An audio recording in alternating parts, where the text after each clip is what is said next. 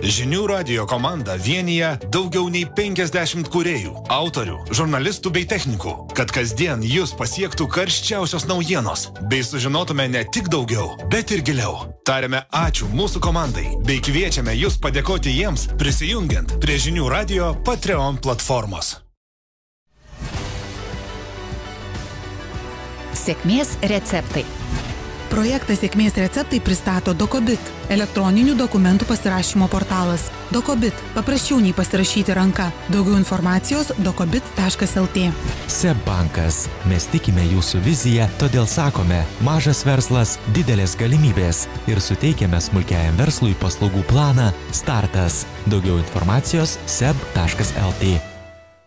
Sveiki žinių radio klausytojai prie mikrofono Eglė Gabrytė. Karantinas dvi merginas paskatino imtis naujos veiklos, sukurti online kursų platformą visiems tiems, kurie nori, bet nesiryšta pradėti dirbti savo ar imtis verslo. Apie inovatyvų požiūrį į mokymus kalbuosi su viena iš platformos Ką darai, daryk gerai autorė Rasa Jusionytė. Sveiki. Labas. Na, atrodo, kad jau prikurta begalės, ar ne, yra mokymų, paskaitų, patarimų, knygų, kaip pradėti daryti tai, ką tu nori, kaip pradėti savo verslą. Kodėl nusprendėte sukurti dar vieną platformą, tą pačią, sakyčiau, temą? Mhm. Aš realiai visada sprendžiu savo problemą. Tai aš visada norėjau turėti verslą, aš esu iš kuriejų šeimos ir net e, ir kažkokių paprastų pagrindų apie finansų planavimą, maržas ir panašius dalykus ir apskritai kaip reikia kurti verslą aš niekada neturėjau. Ir aš pirkdavau ir žiūrėdavau labai daug kursų ir apskritai paskaitų ir man viskas atrodavo labai akademiška, kur žmonės pasakoja lyg iš vadovėlio, kaip reikėtų daryti.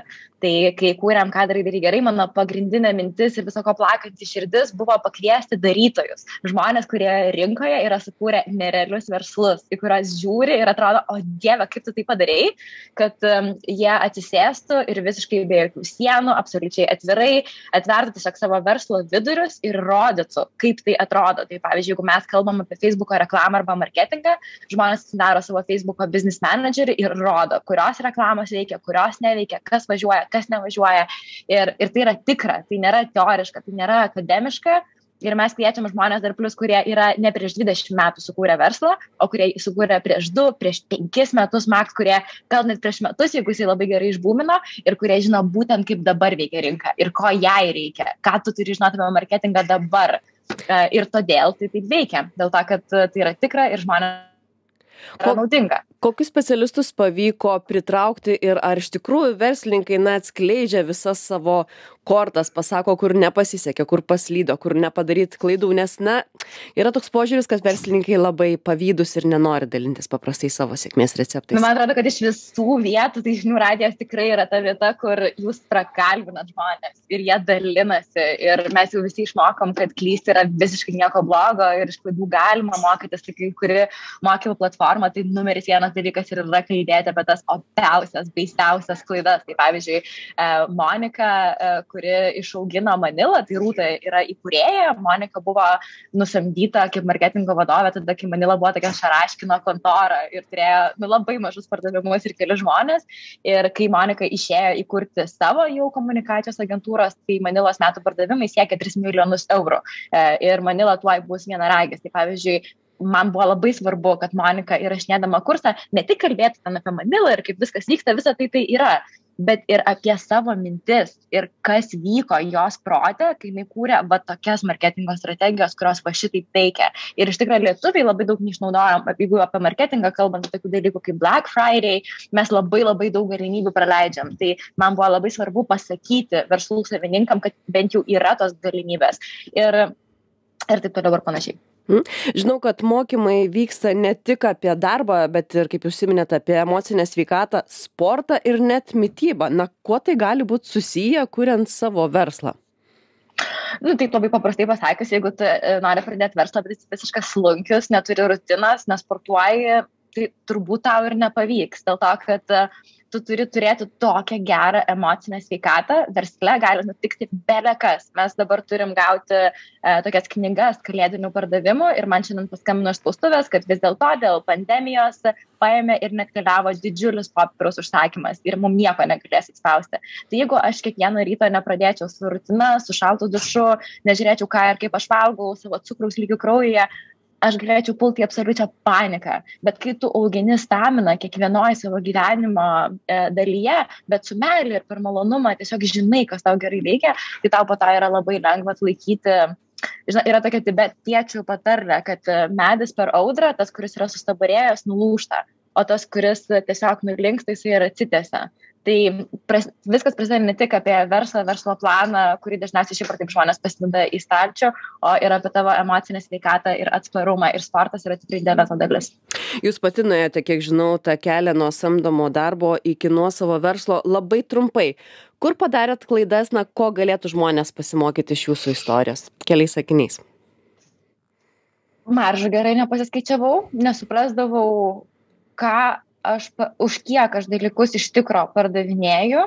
Mm, ir čia yra labai didelė lietuvių problema žmonių kurie pradeda verslą um, tu tiesiog nesi įpratęs dirbti, nes tai, ką aš po to pardavinėjau, buvo ir New York'e, mes Brooklyn'e turėjom taškus, Londone, Berlyne ir kai tu skaičiuoji savo maržą, tu nesupranti, kiek daug iš tavęs paims tos parduotuvės, kiek daug tau kainuos siuntimas. Ir tiesiog tai, kad tu gauni, po to pasidaro tokia maža suma, tai um, jo, tai gal tiesiog tokie basicai man tai buvo apie, tiesiog verslo planą ir visus finansinius dalykus, bet aš, pavyzdžiui, kai konsultuoju moteris, tai jos, aš susiduriu su žmonėmis, kurie Excel'yje valdo korporacijas, jie viską yra susiskaičiavę, jie žino, wow, ten yra planavimo aukštasis pilotažas, realybėje yra nepradėta nieko, nes labai baisu yra startuoti. Mes mokykloje išmokom, kad mes viską turim padaryti tobulai, kad mes turim gauti savo dešimtukus, kai iš tikro, tai tau reikia gauti, nu, maždaug penkis, bet tau svarbu yra startuoti, kad tavo verslas galėtų vystytis, aukti,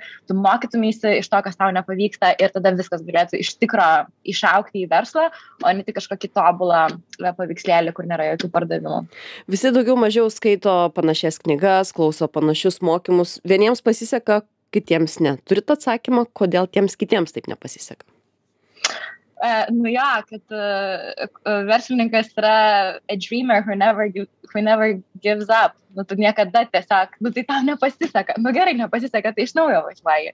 Nes e, esmė yra ta, kad, e, nu, bitlai, 10 tūkstančių valandų grojo nieko garažuose, kurių niekas neklausė, kol tapo bitlais. Tau turi nepaeiti, kuo tau greičiau nepaeina, tuo tai yra geriau. Reikia labai labai nebijoti, e, kad kažkas netaip pavyks, nes tai yra didžiausia dovana. Tu gali iš naujo pradėti ir, ir bus jau arčiau to savo sėkmės.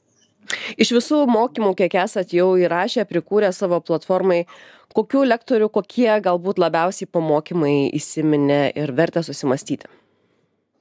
Um, šiaip Viktorijos Vanagės apie investavimą yra vienas sėkmingiausių mūsų kursų, nes ką parodė pandemija, tai kad žmonės tikrai turi daug pinigų, bet dabar infliacija berots yra 7 procentai, tai juos laikyti tiesiog savo banko sąskaitoje yra deginti tuos pinigus, kuriuos turi, o investicinių tikrai yra labai nuostabių galimybių. Tik ten yra tiesiog apžvalga nuo to, kaip investuoti į nekilnojamą į turtą, į kripto, į akcijas. Tai tai yra toks labai geras pradžiamokslis. Monikos kursas, kurį minėjau apie marketingą, yra visiškai aukso vertas. Ir taip pat gydytojo psichoterapeuto Dainius Jekučianio kursai apie e, emocinę sveikatą. Tai visą tą staminą emocinę, kurios reikia jau, kaip suskaičiuoji verslo planą ir žinai savo maržas, yra sudėta dainiaus ir nuostabiai sukurta.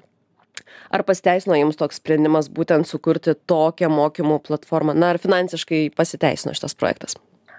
Taip, tai mes per šešis mėnesius mūsų pardavimai siekia 70 tūkstančių eurų ir mes neturėjom jokių investicijų, mūsų apsaitas kainavo 25 eurai, man atrodo, pradžioje, man, nu, man logotipas, ne, net 15 eurų gal kainavo, nu mano draugė juokais iš mūsų paėmė pietus, kur aš jai užsakiau per valdą per pandemiją. Um, tai mes visiškai finansiškai labai labai mažai įdėjom, Um, ir dabar mes dar plus uh, launchinam verslių moterų klubą, tai jau yra subscriptiono platforma, kur mums nebereikia vis iš naujo padaryti pardavimą, pardavimą, pardavimą. Um, tai yra prenumerata, šiaip kiekvienam mėnesiui, bet žmonės lieka metams ir tai yra dar visiškai naujas projektas, kurį mes pradėjom ir dar vienas revenue streamas mums. Tai realiai jūs esate tik tai įrodymas, kad verslą galim pradėti turint vos 15 eurų kišeniai. Taip, aš tokia sakau, jeigu galiu aš, atėjus iš menininkų šeimos ir nieko nežinant apie verslą, žinokit, panas visas jūs galit. Nuostabus palinkėjimas. Ar, ar turite planų, kaip patobulinti savo platformą, na, kokiu dar inovacijų įvesti ją? Tu, nu va, mo, moterų klubas yra didžiulė inovacija. Mes launchinam prieš mažiau negu mėnesį, um, o daugiau tai šiuo metu nepasakosiu, nes um, don't jinx it. Dar, dar vis planai. Bet mes ir kalėdom labai daug naujienų pristatom. Tai man verslas yra kūryba. Aš jį kuriu. Ir um, aš tiesiog, spręsdama savo problemas, vis sugalvoju naujų verslo šakų. Ir tai padedat visų pirma, tai turi būti naudinga. Mhm. Tai pinigai nėra tikslas, padėti žmonėms yra tikslas. Ačiū Rasa už pokalbį, kad pasidalinote savo sėkmės istoriją. Primenu, kad kalbėjau su mokymo platformos Ką darai darai gerai autorė Rasa Jusionytė. Šiandien tiek, laidą parengiau ir vedžiau aš Eglė Gabrytė ir toliau likite su žinių radiju. Ačiū. Eglė. Sėkmės receptai. Projektą Sėkmės receptai pristato Dokobit - elektroninių dokumentų pasirašymo portalas. Dokobit - paprasčiau nei pasirašyti ranka. Daugiau informacijos dokobit.lt. SEB bankas. Mes tikime jūsų viziją, todėl sakome, mažas verslas - didelės galimybės ir suteikiame smulkiajam verslui paslaugų planą Startas. Daugiau informacijos seb.lt.